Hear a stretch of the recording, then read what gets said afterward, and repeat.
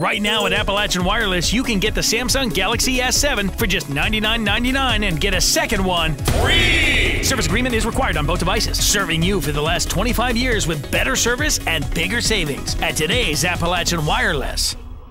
While the story of Native American influence in this region often goes untold, a first person portrayal of Cherokee military leader during the French and Indian War named Ostenaco was held at the Coal House in Williamson, West Virginia, where the story of Ostenaco and his significant influence on the Tug River Valley was told.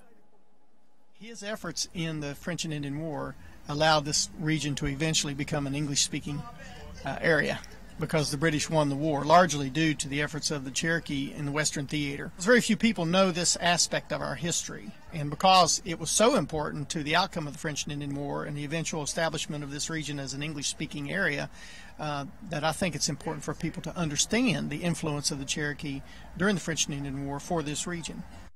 The event was sponsored by the West Virginia Humanities Council. For more information on this and other similar events, visit them on the web.